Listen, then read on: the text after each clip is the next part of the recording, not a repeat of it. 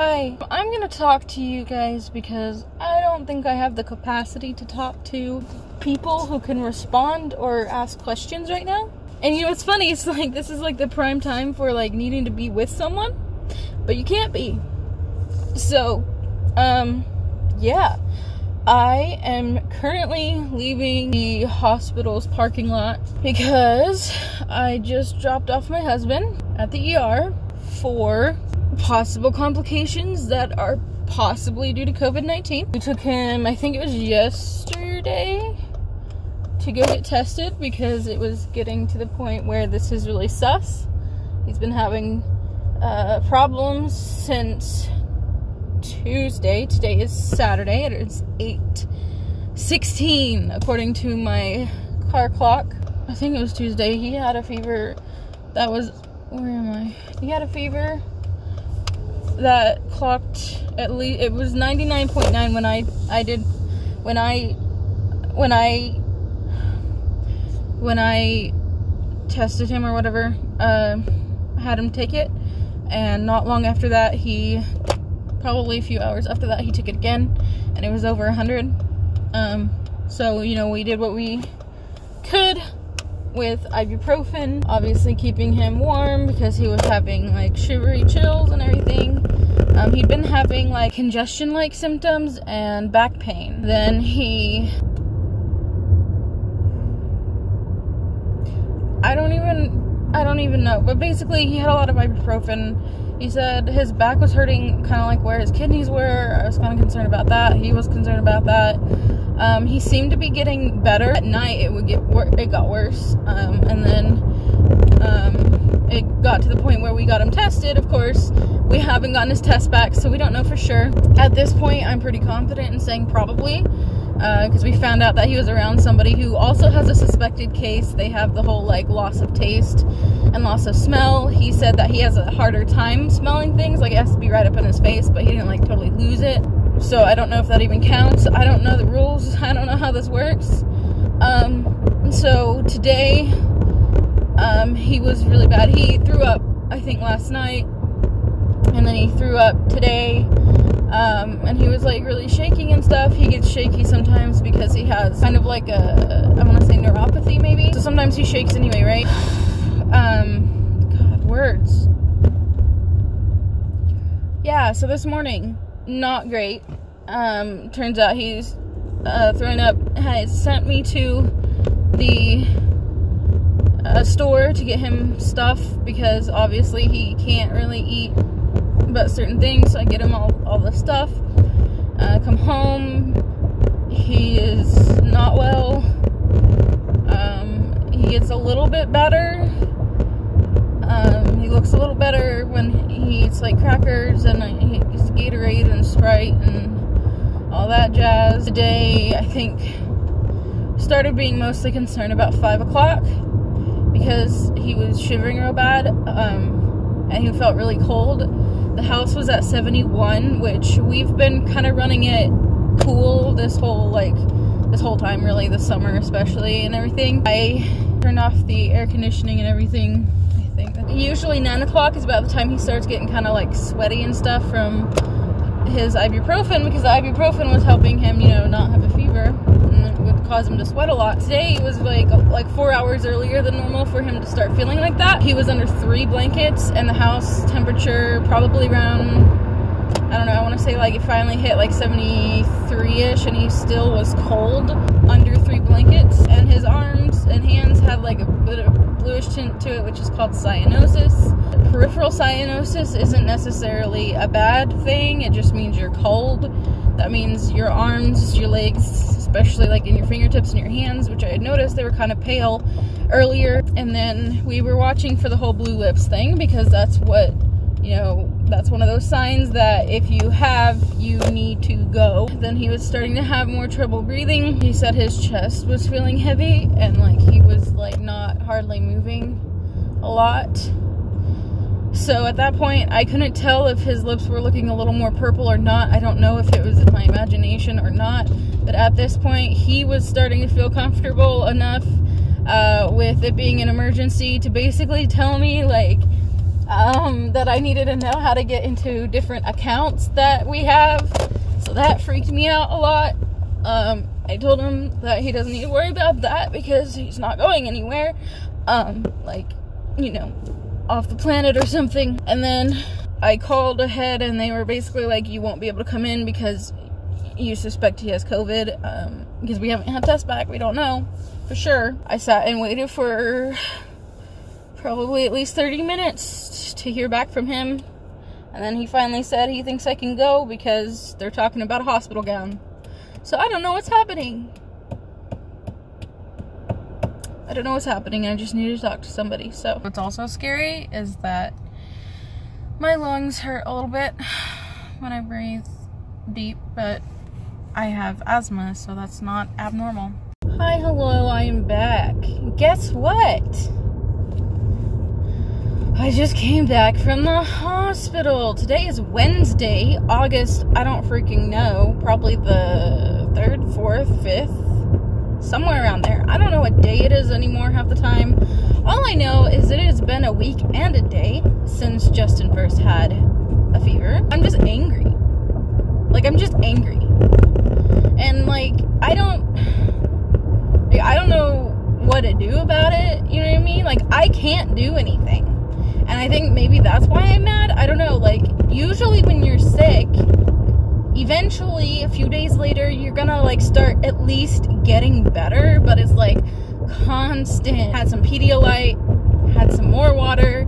I wanted to make sure he had Pedialyte, even though he doesn't like the taste of the one that he got. Because I know that water alone isn't going to be enough right now. And he managed to eat a chicken nugget and a french fry uh, some crackers, and like that's it. And I got him to eat some more crackers and take a bit more water. And then he thought maybe taking this Mucinex stuff would be a good idea because he felt like his chest was heavy or whatever. So he did that and he went to go lay down. And of course, uh, then, you know, it started working. So he had to get up and, you know, like cough his lungs out and get the mucus out, which I was hoping at that point he would be feeling a bit better. That was my hope. At this point, he hasn't eaten normally in probably the entire week. Um, I think after day, by day three, I think, he was not capable of keeping things down pro properly and like was throwing up and stuff. I think it was day three. It was day three or four. I don't know. He did test positive for COVID 19. I don't know, I'm just angry. I'm just angry because I just want it to be done. Like, I can't take this anymore. And, like, I know he can't take this anymore. And it's not like I can just give him a medicine and it makes it better because nothing makes it better. Like, he got prescribed a pain medicine that we went and got that night. And I was like, well, maybe that's good. Maybe that will help him and then he'll be better and, like, he'll start to recover. And, like, no. Nope he decided that was what made him nauseous, which it probably was because he doesn't have any freaking food in his stomach, which he can't get himself to eat because then he starts feeling like he's gonna throw up. And I don't know what to do. Like it's a lose, lose, lose, lose, lose situation, and it's just making me mad. I guess I'm just irrationally angry. Like, and I don't know. Am I angry at him? Like, I don't know. Maybe. It feels like if I could just get him to like drink it, it'd be better. But like he did though, he did, and he couldn't drink anymore. But like he's not drinking a lot of fluids when he can't drink anymore, and he can't bring himself to drink anything or eat much. And like we're both trying, and I can't. I don't know what to do. I can't make him feel better. He can't do anything to make himself feel better. And I'm just mad. I'm just mad. I'm just mad. I'm just mad. And like, we have to assume, I'm assuming that I have it. I might be mostly asymptomatic. All I've had so far is feeling lethargic. Was battling a minor, minor sore throat to the point that I wouldn't even call it a sore throat, like a trying to be sore throat, sore throat. Then sometimes my lungs hurt, and that's about it. And I've had a little bit of a cough, but like not much at all. So you know, thank God if that's if that's all it is for me, praise God. But for him, it's like it's almost like it's not even like it's almost like the lung part is secondary for him. and like it's dangerous and I don't know what to do and I'm just angry because it, it's supposed to go away. It's been like it's day 8 now. It should have at least improved. He was seeing better, doing better um, for a little bit during the day's time and then all of a sudden now it's like he doesn't even get that much better for maybe an hour or two where he'll like talk to you and like use his phone or whatever but the majority of the day it's him moaning and groaning and whining in his chair trying not to die and I don't know what to do about it. I don't know. I don't know what to do about it. It's really annoying I don't know what to do about it. So then today, um, I'm trying to help him. I'm just trying. I don't know what to do. I'm trying. And like at this point, like I can't engage every time he makes a noise because I am getting really worn out and like my sensory threshold is like I'm done. Like I can't listen to this anymore. Our house is so freaking small. We are in each other's space all the freaking time. Like we both had to use the bathroom today at the same time. It wasn't so great having to try to figure out who goes first when we're both not feeling like 100%. And like so like he can't get away from any noise I make, so I can't make noise, and then he's making noise, and I just want to throw everyone out, and I just want this to stop, and that's so selfish. You know what I mean? Like I just can't handle the noises. I can't handle him being sick. And like it's supposed to be gone by now. And like what's worse is like like I can't I can't make those kinds of decisions, dude. Like he was getting irritated at me because I was at like I was like like I'd be asking him like what he needs. Like I can't get in his body and tell what he freaking needs. And like I don't know, I'm just mad. I'm just mad and I don't know what to do. And so yeah, then he's all of a sudden out of nowhere like, "Babe, check my heart." How the frick do I check someone's heart? I don't even know. I took anatomy and physiology where we one day had to know how to use a stethoscope, which I don't own, which never really worked properly for me because for some reason I can't decipher where the freaking pulse is coming from, nor where to put it for the pulse.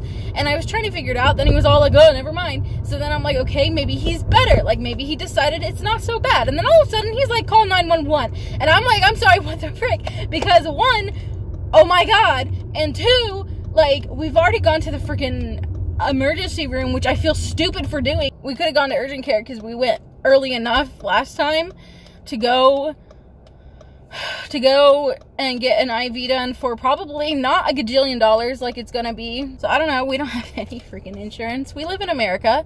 Um, and you know, honestly, I I know that a lot of people are for free healthcare and a lot of people aren't. We're like one of the only countries that doesn't do free healthcare. And at this point, me saying I can't freaking call an ambulance. Are you kidding me? Like not only one i'm a little scared because i don't want to like waste resources sure but two I don't know how we're gonna afford the first emergency room visit, let alone this one, let alone an ambulance ride. So I took him in. I called an urgent care, asked them if they could do it, and they're like, there won't be enough time before they close.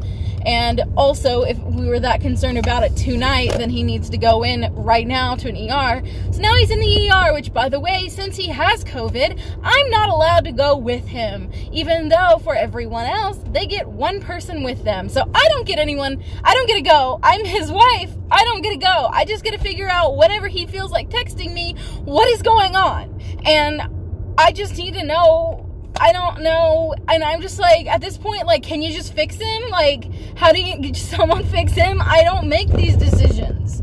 I don't do this kind of thing. And like, this is like, this is the autistic part. I don't make these decisions. I don't know how to. I don't know how to. I don't know how to tell like when like we have to go to when we have to go and if I'm being like negligent and not taking my husband or if he's just like feeling overwhelmed at the moment. Like I should probably talk to my family, but I don't know how to do that. And that's so stupid, right? I should know how to do that. Um I should know how to do that but I don't know. And I'm sure if they see this, they'd be like, oh, Stephanie, why didn't you tell me? I don't know. I don't know because I can't deal with someone else right now. I can't deal with it. I can't deal with it. And I don't know what to do. Oh yeah, so yeah, that's what I was gonna tell you. My dog, our dog, um, like the only thing I can go to because my husband's like sick and I don't to do. And like the normal stuff that like, oh, he'll get through it, like, oh, here's some crackers and then we'll build up to something else. There is no building up to anything else. Anyway, so then she's over there like peeing blood. And we suspect she has a UTI. Had to take her into the vet. That wasn't cheap, but at least it's gonna be a lot less expensive than taking care of like traditional health care for this stuff right now. Um, so thankfully she's doing a lot better. She's, I'm pretty sure she'll be fine. As long as I just like keep doing what they said to do, and I think she'll be fine. I just, I don't know what to do. Um, and I don't have, I, I don't freaking care. I just want everyone to leave me alone. And I say that, but I want, like, I want comfort, but I just want everyone to shut up. Because I can't figure out how you want me to answer you and what you want me to say. And yes, God bless. I don't know. I got told that I wasn't allowed to go back with him, um, even though he couldn't even freaking talk enough to answer questions. I don't know what to do. And I just want him to be better. And like part of me hopes he will stay overnight because then they'll make him get better, right? Like that way, that way, that way they'll make him get better and they know what to do. Cause I don't know what to do. And like maybe I don't know. I think it's because I'm autistic. Maybe it's just because I'm stupid. I don't know. Maybe everybody doesn't know what to do and they just pretend that they do. I don't know. I just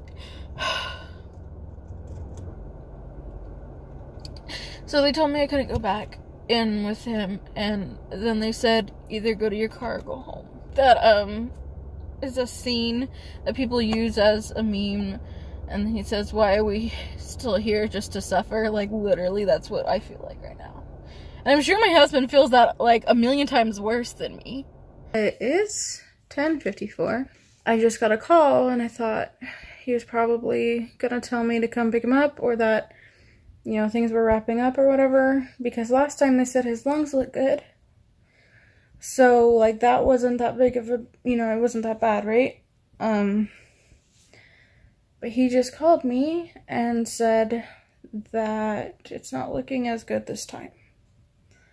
That his chest doesn't look good this time. Um, that he's on oxygen right now. They're waiting on blood work and there's talk of moving, transferring him. I don't know what that means. I don't know if I transfer him or they transfer him.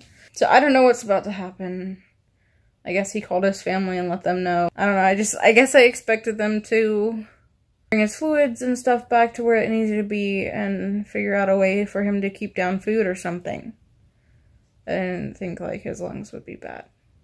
Hello, welcome once again to the unflattering car video. My husband has been moved hospitals, which kind of sucks because further out, which also means more traffic. So that part's not real exciting. But it does mean that they're more capable of caring for him properly than the hospital that I took him to the ER. Apparently, he said that the hospital he was taken to, they don't do their ER anymore. So when they took him in from the transfer, he said it was really like creepy because they were passing through like empty hall, like an empty place with all these empty beds. And he said it was just weird.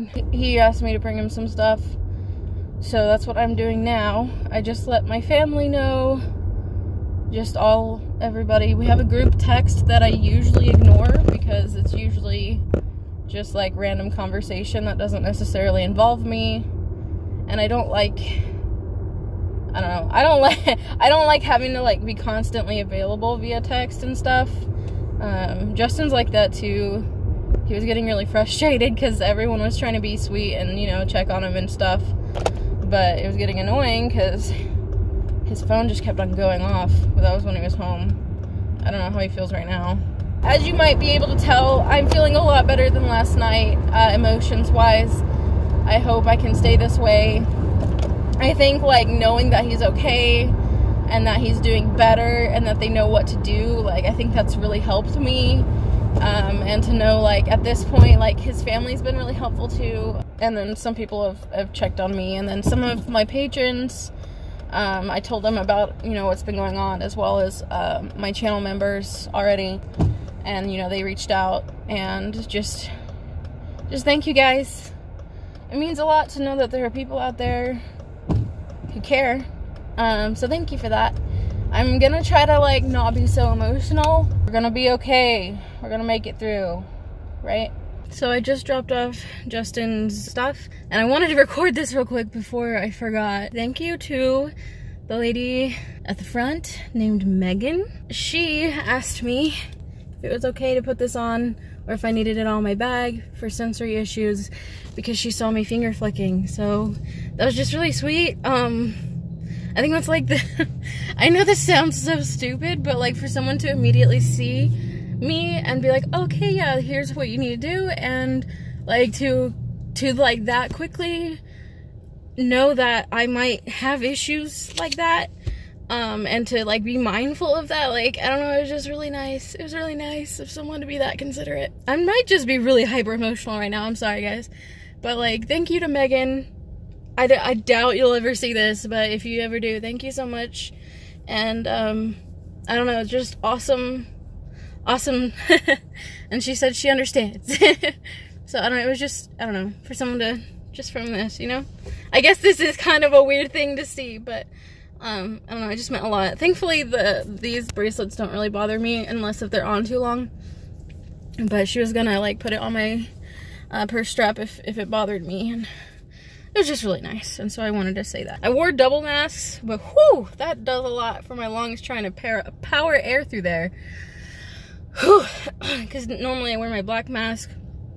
But last night at the other hospital, they said you could wear your mask, but that you had to wear their mask under it. And since it's very likely that in some way I'm either carrying or have had or have COVID, I just figured it would just be safer for everyone if I double masked because I don't really, I'm not like, the only places I've gone are drive-throughs and I've been wearing my mask in the drive-through too because that way they shouldn't have, you know, a problem making sure I don't touch them even though they have gloves on and stuff but just try not to touch them when receiving my stuff. And then the only other place I've been is to take him to the hospital and then um, this hospital here. So yeah I just wanted to make sure because you know I don't want to spread it to anybody obviously if I am still like carrying it or whatever. But I've been feeling lethargic and like sleeping for way too long for quite a while so either I'm just I just got issues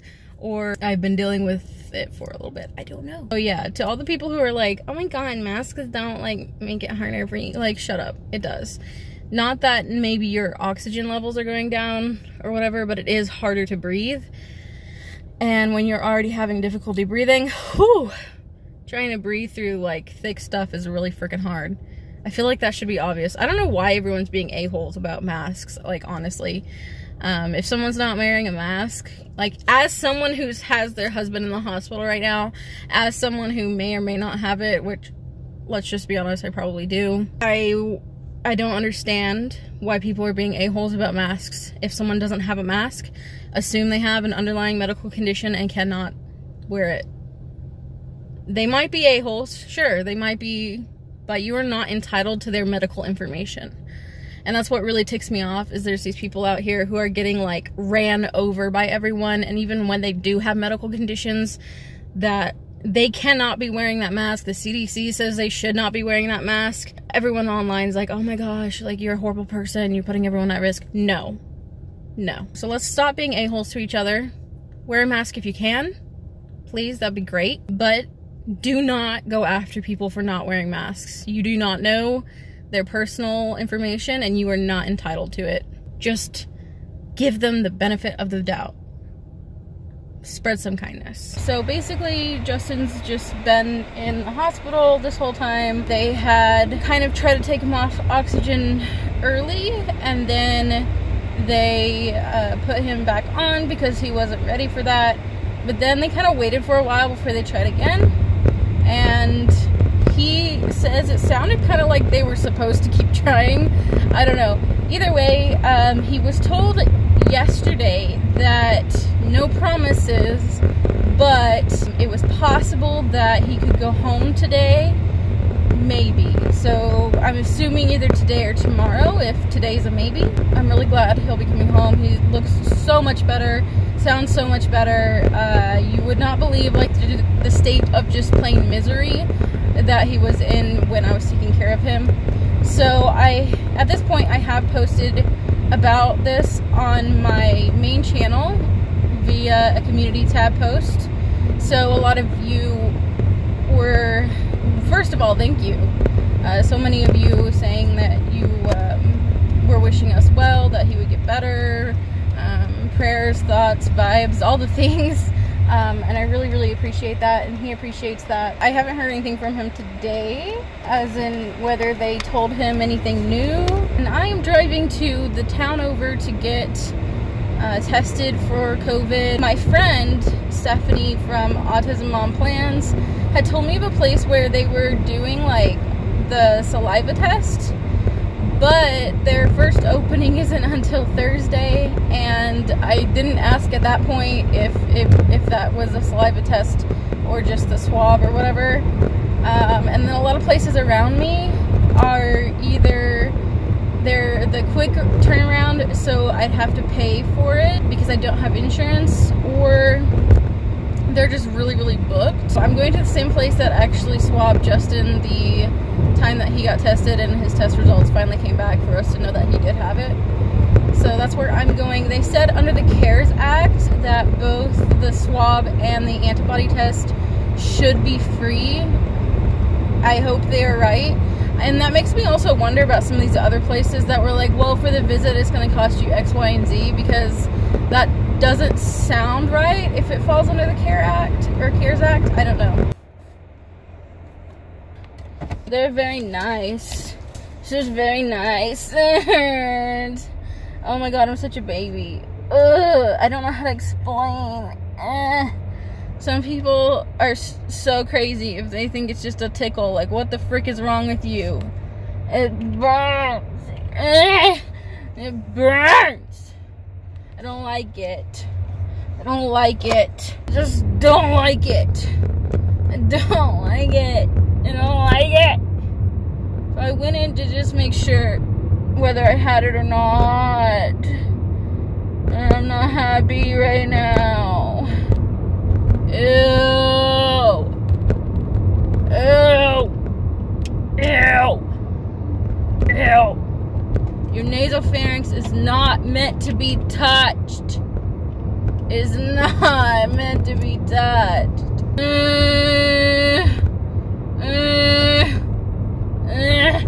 I don't like it. I don't like it. It hurts. It's like, it's weird though. It's not like a traditional pain. I don't like it. It's over. It's over. It's over. It's over they make jokes about it feeling like it touches your brain, but I don't feel like that. It just feels like ah, they were touching parts of your inside your face that they're not supposed to touch. They're not supposed to touch that. And they did. It stings. It stung. I started crying like a baby. Huh. but like I did I couldn't handle the second one. The first one I made it through without backing my head up too much, and then I tried really hard to not back my head up for the second one. She had to keep on pushing. She kept on pushing into my face. I told her I had autism, so at least at least she can understand my reactions. Hopefully, I'm sure people react poorly in general. She's a very sweet person, very kind. It just sucked really bad and I just wanted to stop. I wanted to stop feeling it. I want to stop feeling it. I want to stop feeling it. I already have a problem with like feeling like stuff is still like touching um, when it's not. Like when I felt something unpleasant, like I can still feel it later if it's unpleasant or unexpected. But I didn't hit anybody and oh, I hit myself a little bit in the head, but that's it. And I didn't hurt myself, so that's good. And then I just squeezed my head and made noises. Ew, that's what it feels like. It feels like when when the water ew, on vacation with Justin when we went to Corpus Christi. All of a sudden something happened and the waves came over us. I had salt water um, in my face, like in everything. I couldn't breathe. I thought I was drowning. It was so bad. It like sat too because I couldn't breathe um, and then all of a sudden, I felt the water drain out the back of my throat. And everything burned. And that's what that feels like. So I must have gotten salt water in my nasopharynx when that happened because it freaking hurt. Anyway, so it feels like I'm having a little bit of drainage from being poked. I don't want to sneeze. That's what it feels like. Okay. Ow. So you know when like you're like you're really dry in your nasal passages and you have that feeling like it's almost like like this to sneeze but you feel like you might bleed from your sneeze because of how it feels. That's what it feels like if you can relate to that at all. I don't know if that makes any sense. So i thought i had managed to not get myself hurt uh during the um the um, visit to our lovely nasopher nasopharyngeal visit of doom. I was wrong. So apparently I accidentally scratched myself up pretty bad. it hurt, okay? I thought I did pretty good because I squeezed my head really hard or anything, but like I only hit it a few times but I don't remember what I was doing other than trying to not freak out and whining and bringing my head back. So I must have been digging my nails into my arms too. Oops. So today I'm supposed to pick up Justin. It is 2.30ish, nearing 3 o'clock. And we don't have any time, like specifically when I should be there to pick him up. But his, um, he's very impatient. And so this is the second time. I haven't called today, but I called yesterday, last night, about information. They said they'll do their best to tell me tomorrow, which is today. And then he was like, ask them. So I called them again and they were like, okay, we know, you know, like, we know it's it's hard for him to be here. We're trying our best to get him out of there. Uh, but we have to wait on the doctor and so we don't have a time frame. So just kind of funny because his nurse was like, we know. like, we know we're trying to get him out. But it's it's gonna take for the doctor to like write the stuff up and stuff like that. So that is what we're doing now is waiting. And I am really tired and lethargic today, like more so than yesterday. I don't know if my body is just responding to having a swab stuck up into its face or something. I, don't know. Good morning. That's my fan because I am in the office recording area, the whatever you want to call it, um, we have the bunk bed on top of my recording space that a lot of people wonder if it's a small room uh, because um so Justin's home. So yay Justin's home. Uh, but he has what is called walking pneumonia or community acquired pneumonia. In addition to, you know, dealing with the remnants of COVID and all that jazz, and he has been told to uh, quarantine or isolate while at home.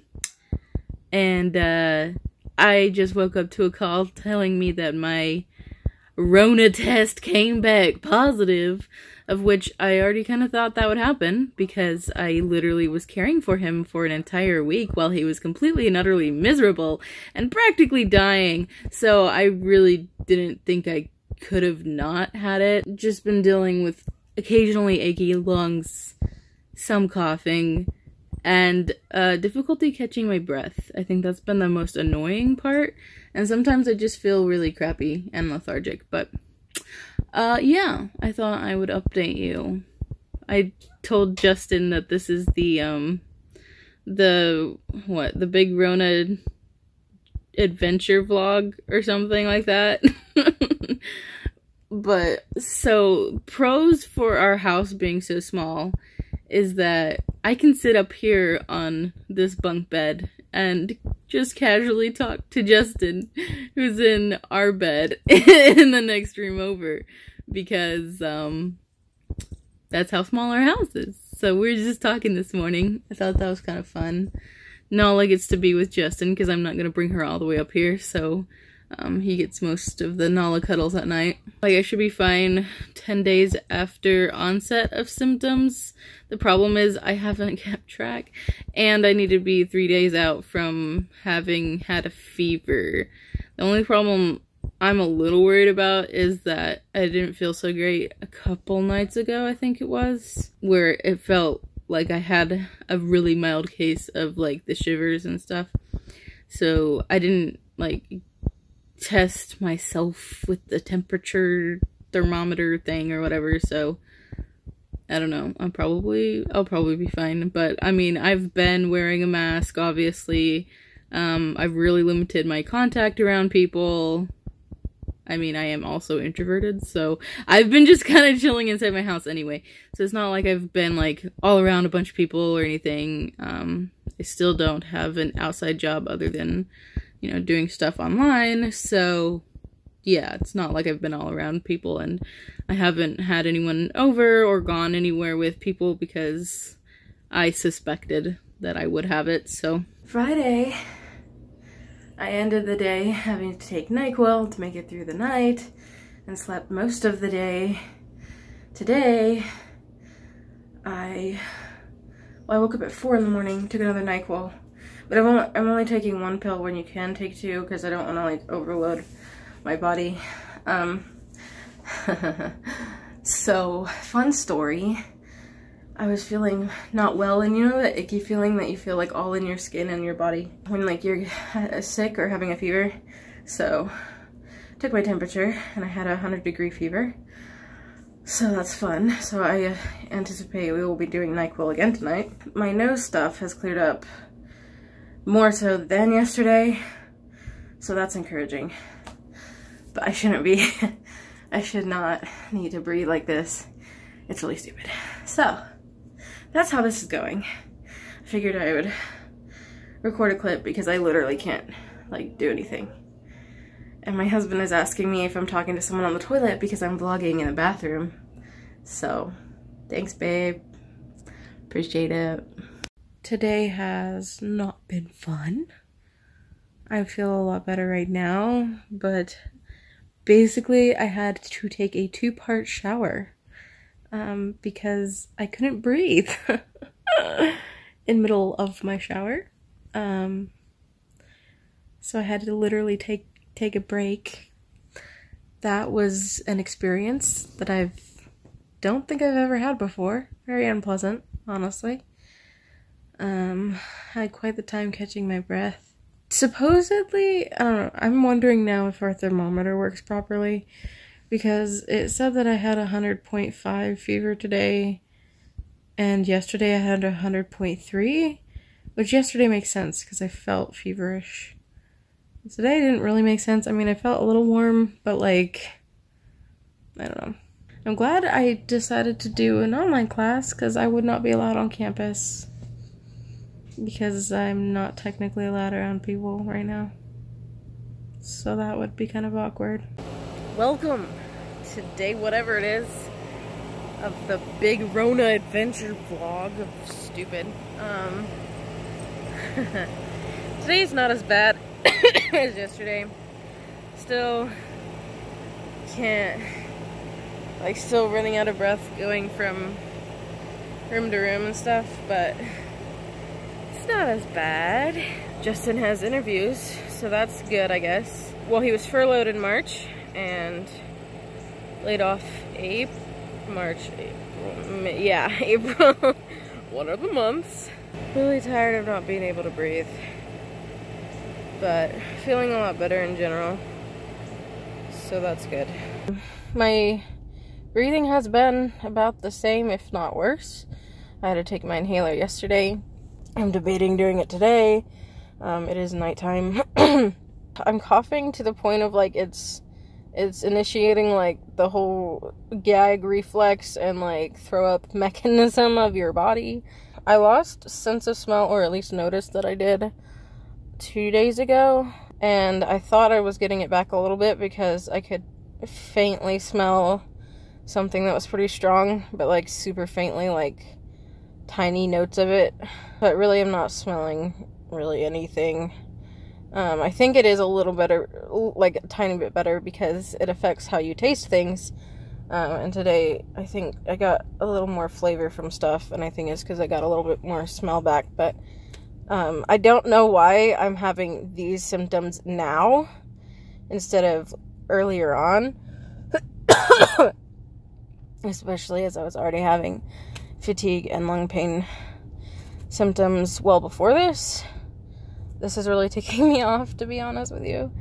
Um, I just want to be able to focus on my YouTube and my school and just find a freaking job. And I can't even do anything because I about die walking from from one room to the other. It's just insane.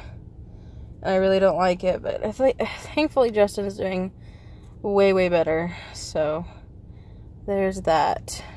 Okay, so I figured it's probably about time to wrap up the Big Rona adventure vlog or whatever. I think the last clip that I made was the one in the car when I was talking about how I felt like I was dying when I was trying to breathe. And then the next day, I think, Justin took me on a little walk that happened to have steep uphill climbing involved, in which I almost coughed out along. It legit felt like that. It also felt like it was about to trigger a panic attack. It was a very unpleasant experience. How to the ever, um, we saw the very pretty lake. It wasn't far, it was just kind of steep at at my um current abilities, basically. Which he doesn't think so, but it's okay. After that, I think the next day we took a little walk down our road and stuff like that. But since around that time, my lungs have seemed to clear up more. I don't have like the traditional runny nose and um, super bad cough or anything like that. Um, now I still have problems with my lung capacity, but I don't feel like I'm dying because of it. I did kind of feel that way before and it hurt to breathe It doesn't hurt to breathe right now. I'm hoping it stays that way and just continues to get better. Um, Justin is in the process of interviews for jobs and stuff, so he's doing a lot better. And so I feel like it's probably the appropriate time to go ahead and close out this vlog and this um, rather unpleasant journey that I'm just glad I didn't have to end up in the hospital for because there was a point we were starting to wonder just because of how um, my breathing was, but we're good now. All good. Anyway, thank you for coming along with with us, with me mostly, on our horrifying adventure. I hope that you don't have to experience this, and um, stay safe. Goodbye.